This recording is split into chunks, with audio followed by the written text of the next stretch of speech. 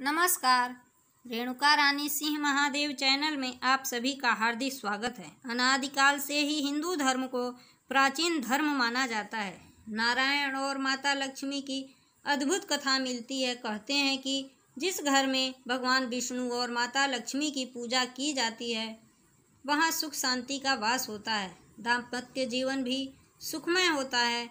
लेकिन क्या आप जानते हैं कि एक बार ऐसा भी हुआ कि श्री हरि को भी माता लक्ष्मी की वजह से रोना पड़ा। आइए जानते हैं इसकी कहानी। पौराणिक कथाओं में ज़िक्र मिलता है कि एक बार श्री हरि धरती पर भ्रमण के लिए जा रहे थे, तभी देवी लक्ष्मी ने उनके साथ चलने की अनुमति मांगी। कई बार कहने पर भगवान विष्णु ने कहा कि वह साथ चल सकती हैं, लेकिन उन्हें एक शर्त माननी होगी।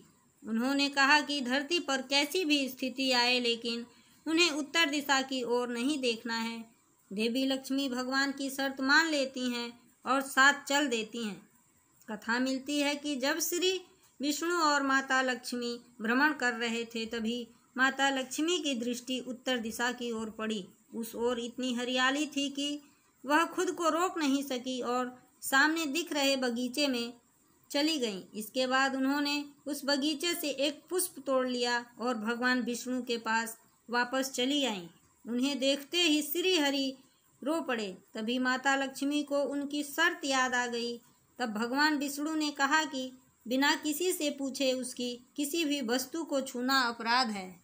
देवी लक्ष्मी को अपनी गलती का एहसास हुआ और उन्होंने भगवान से क्षमा मांगी। लेकिन श्री हरि ने कहा कि इस गलती की माफ़ी उस बगीचे का माली ही दे सकता है। उन्होंने कहा कि अब उन्हें उस माली के घर में दासी बनकर रहना होगा। देवी लक्ष्मी ने उसी क्षण गरीब औरत का रूप धारण किया और सीधे उस माली के घर पहुँच गईं। माली ने कभी उनसे खेत में काम करवाया, कभी बगीचे में तो कभी घर में। लेकिन एक दिन उसे पता चला कि वह दासी कोई और नहीं, माता लक्ष्मी है तो वह रो पड़ा।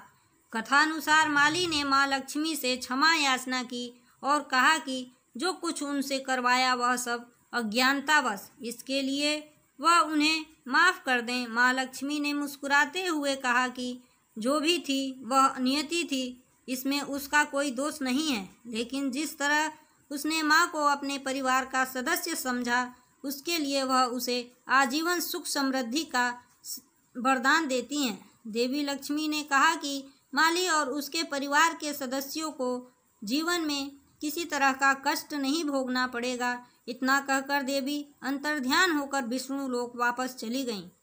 वीडियो अच्छी लगे तो सब्सक्राइब व शेयर कीजिएगा। इसी के साथ मैं अपनी वाणी को विराम देती हूँ। जय हिंद, जय भारत।